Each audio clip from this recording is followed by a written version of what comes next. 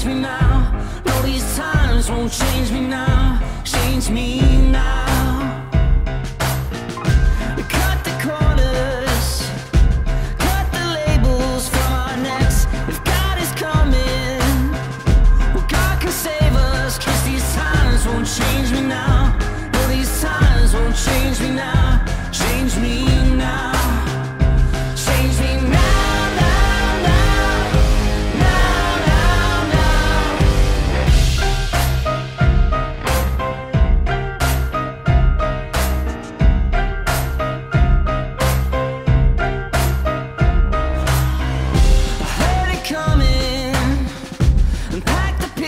Pictures from the shelves. I kept the sunset to myself. Cause these times won't change me now. No, these times won't change me now. Change me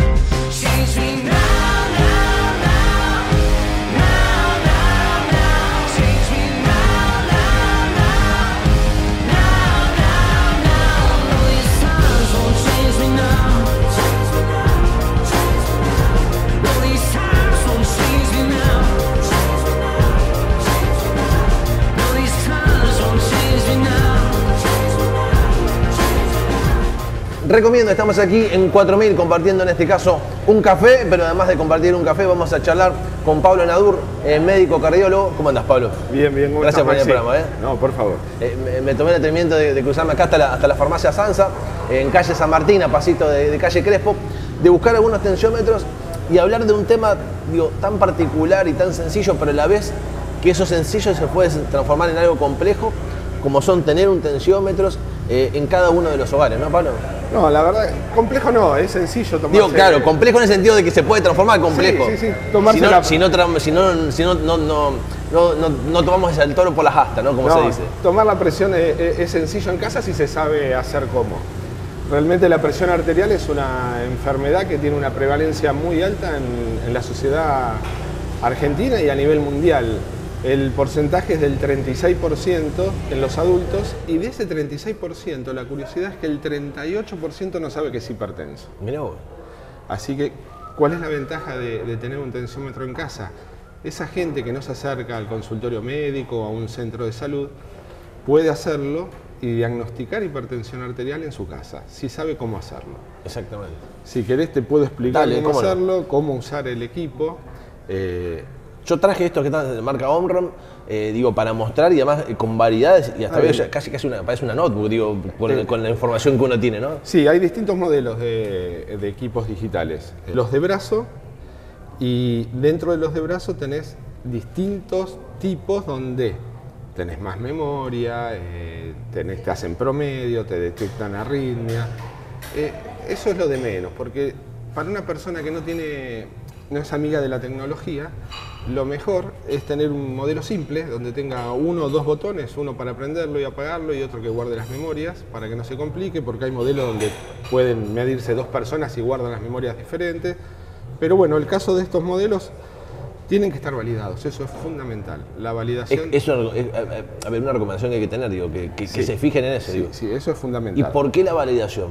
La validación es porque si vos tenés un te tomás la presión con un equipo no validado, no, no corresponde a la medición arterial que vos tenés, Ah, mira vos. entonces vas Puede a hacer ser, un falso claro. diagnóstico, ¿sí? O va a medir mal y no, no correlaciona con lo que es realmente. Entonces, ¿cómo encontrar eh, si tu equipo es validado? Entras a la página de la Sociedad Argentina de Hipertensión Arterial y ahí tenés los equipos, hay un, haces un clic donde dice equipos validados y te da el listado. Pones tu modelo y te figura si está validado. Eso es fundamental. Y si no, cuando vas a adquirirlo a la farmacia. Ella me dijo, por ejemplo, eh, acá la chica de la farmacia Sansa me dijo, dice, esto, estos dos modelos, el de Elite y este de Control, dice, de Omron, dice, tienen la validación, dice, Preguntás si son validados. El 7120 está validado y el 7130 están validados y hay un intermedio que es el 7121 que se está comercializando también en Argentina que también está validado. Qué Eh, importante ese dato, no, es un dato menor, digo. Totalmente. Porque si no cualquiera va y compra cualquier tensiómetro en cualquier lugar. digo. Exactamente, pero aparte de estar validado, tenés que tomarte bien la presión arterial en casa y saber la técnica cómo hacerlo. A ver. Si querés pasamos a, Sí, a dale, a explicar cómo se hace eh, la toma. Primero y fundamental es que el paciente haya descansado cinco minutos antes de tomarse la presión arterial. Estar en un ambiente con un- una temperatura adecuada, liberarse el brazo donde se va a tomar la presión.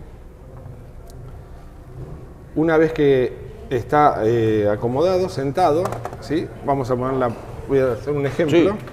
La espalda tiene que estar apoyada en el respaldo de la silla, los pies en el piso, los dos no tienen que estar cruzados, tiene que haber vaciado la vejiga, ¿sí? Y no haber ni tomado café, ni haber fumado, consumido bebidas con cafeína media hora antes, ¿sí?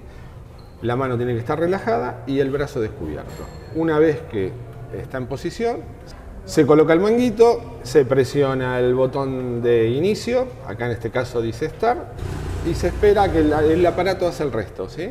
¿Qué va a aparecer en el equipo? La presión máxima, la presión mínima y la frecuencia cardíaca. Luego de eso, ¿qué se hace? Se apaga, se espera dos minutos y se vuelve a repetir la toma. Por lo menos hay que hacer dos tomas y hacer el promedio. ¿Qué, eh, qué se- qué sucede? A ver, una sola toma de presión arterial elevada no indica que el paciente sea hipertenso. ¿sí? Hay distintas situaciones donde uno puede estar estresado, puede tener, estar con dolor y no quiere decir que sea hipertenso en ese momento. Entonces hay que tener varias tomas para hacer el diagnóstico de, hiper- de hipertensión arterial y lo que se recomienda es, si en su domicilio empieza a notar que los valores están por encima de 140, 90, consulte al médico para que haga el diagnóstico. Otro detalle importante es el tamaño del manguito con el que se va a tomar la presión arterial. ¿Por qué, Maxi? Porque si el manguito es chiquito se va a sobreestimar el valor de la presión arterial, va a ser mayor. Y si, eh, Si es muy grande. y si es muy grande, Al revés. al revés, va a ser más baja. Entonces, eh, ¿cómo es simple saber que si hay gente que ya tiene eh, manguitos en la casa? ¿Y cómo saber si es el correcto? Se mide el brazo entre el codo y el hombro con un centímetro de sastre. Ajá. Si el perímetro es entre 27 y 33, se usa el manguito estándar adulto. Si es menor, se usa el de adulto pequeño y si es mayor, el de adulto grande. En este caso, estos tensiómetros ahora vienen con lo que se llama el manguito universal, que tienen un rango de 22 a 42 centímetros, así que no va a haber Claro, inconveniente. es para todas la- Para, todo, para todos igual. las medidas, digamos, exactamente. No van a tener inconveniente con eso.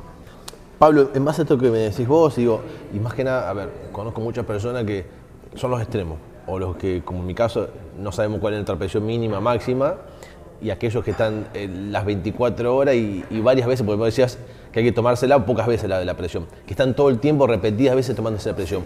¿Cómo, cómo es ese tema y qué recomendación dar para que sea bien utilizado estos productos, no? Como siempre, todos los extremos creo que son malos. Claro, exactamente. Eh, tomarse la presión eh, correctamente sería, si, si vos querés hacerlo tampoco todos los días, si vos estás haciendo un diagnóstico y el médico te manda un control domiciliario con un protocolo, que es lo que corresponde para hacer diagnóstico, está bien que se tome todos los días, generalmente se usa antes del desayuno y antes de la cena, se hacen dos o tres mediciones y después se consulta al médico y se le lleva las anotaciones o las memorias en caso que lo tenga el equipo está indicado ese protocolo por el profesional. Después no hay que obsesionarse, porque entras en lo que se llama la presuromanía, que es tomarse la presión en cualquier momento. Claro, sí. Porque que nosotros creemos que estamos con y bueno, viene de correr, se toma la presión. Y venís de correr y la presión va a estar alta. Claro, sí, sí. O me levanto a dormir y me la tomo. Termino de comer Claro, y, y me tomo la presión. O tuve un mal día, me peleé con mi jefe, con mi mujer y... Pero hay gente que se obsesiona y es patológico, o sea, no sirve tampoco eso, tomarse la presión a cada rato. Así que lo, lo ideal es que te lo indique el médico para hacer diagnóstico, después en tu casa, si vos querés hacer los controles que corresponden, me parece bárbaro para ver cómo está la medicación, hacer diagnóstico, continuar el seguimiento, siempre usar eh, el equipo, como dijimos, o antes de las comidas, en la exposición correcta y no obsesionarse, eso es fundamental. Exactamente. Pablo, por último, y, y con tu opinión tuya como, como médico, como especialista, digo, Este que me dieron, ¿es- es- es- ¿sirve entonces? Digo, porque, digo, lo importante digo, de que una farmacia, en este caso como la farmacia Sansa, digo, yo fui y digo, mira, necesito hacer una nota, necesito hacer una entrevista, hablar de esto. Digo, esta, es buena la recomendación en ese sentido, de que no te vendan cualquier producto por vender. Tenés que tener lo que eh, siempre tenés que saber que el tensiómetro tiene que estar validado por las sociedades. ¿sí? Eh, la Sociedad Argentina de Hipertensión Arterial recomienda los de brazo. ¿sí? No quiere decir Que los de muñeca no sirvan.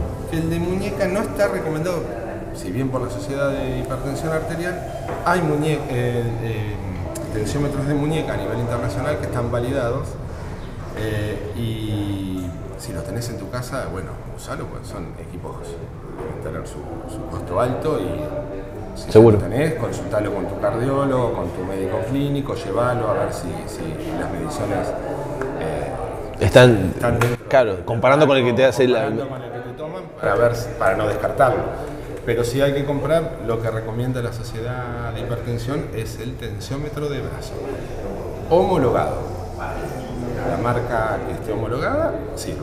La Sociedad de Hipertensión sí recomienda los de brazo y los validados, que se, se- se realizan, la validación se realiza con distintos estudios y que estén equiparados con los controles de, de tensiómetros eh, Mirá vos. Y además, con los, de los profesionales. Pablo, gracias por este minuto porque digo, es lo importante, digo, de, digo, de que no solamente de una farmacia tener la confianza y uno deposita la confianza también en el farmacéutico, sino también en este caso de los médicos para traer y darle seguridad a cada uno de los pacientes sobre qué producto utilizar y bien utilizarlo exactamente también. Sí, Maxi, la verdad que eh, en realidad eh, sirven. Eh, si hay que tenerlo en casa, conviene tenerlo. Eh, va a ayudar al médico a hacer diagnóstico de hipertensión arterial, siempre y cuando se usen las pautas que hemos dicho recién para tomarse bien en forma correcta la presión. Pablo, gracias por estos minutos. ¿eh? No, por favor, Eh, un gusto, Maxi. No, por favor, el gusto es mío. ¿eh? Así que bueno, con Pablo Nadur, médico, cardiólogo, hablando, charlando y más que nada llevando tranquilidad y conciencia a cada uno de aquellos que están del otro lado sobre los productos, en este caso sobre los tensiómetros de brazo que hay que tener y en este caso también quedándonos con, rescatando lo que es, en este caso la farmacia Sansa, que nos proporcionó los productos certificados y validados para nosotros quedarnos tranquilos, que la presión que nos vamos a tomar sea la correcta, la correcta para quedarnos tranquilos, no solamente nosotros como personas, sino también eh, los médicos especialistas que son los que nos controlan después diariamente, compartiendo en este caso aquí desde 4000 este café de especialidad en la peatonal santafesina, lo recomiendo.